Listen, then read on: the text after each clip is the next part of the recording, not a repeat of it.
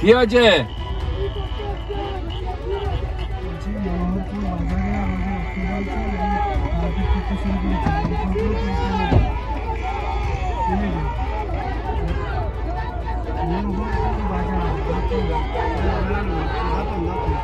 মণ্ডলের কর্মীদের সঙ্গে দেখা করার জন্য যাদের উপরে অত্যাচার হয়েছে, বাড়ি ভেঙেছে, চাষবাস বন্ধ করে দিয়েছে, তা আমি মনোরপুরে যাচ্ছিলাম।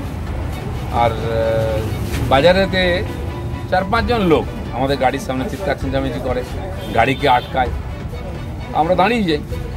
তারপরে আশপাশের লোককে জোর করে ডেকে নিয়ে আসছে লোক দাঁড়িয়ে দেখছে, তাদের "এই এসো। চিৎকার চেঁচামেচি স্লোগান, গালাগালি, গাড়ি আটকালো, আমরা চুপচাপ ছিলাম। আমাদের একজন সাংবাদিক বন্ধু ছিলেন ওখানে। তিনিও রেকর্ডিং করছিলেন, তাকে তুলে নিয়ে মারা হয়, তার মোবাইল ভেঙে দেওয়া হয়। এবং স্থানীয় কিছু লোক যারা আসছিল না, তাদেরকেও মারধর করা হয়। তা আমি কিছুক্ষণ অপেক্ষা করার পরে উত্তেজনা না বাড়িয়ে আমি ওখান থেকে ফিরে আসি। এই ঘটনাই হয়েছে। তারা আমাদেরই ভোটার সব।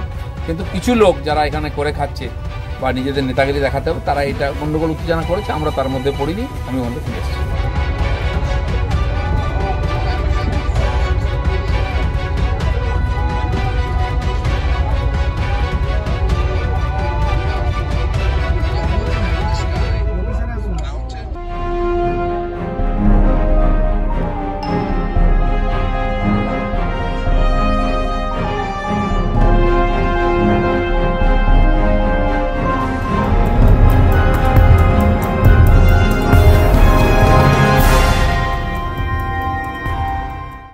খবরের আপডেট পেতে সাবস্ক্রাইব করুন আমাদের ইউটিউব চ্যানেলটি আর বেল আইকনে ক্লিক করুন নোটিফিকেশনস পেতে।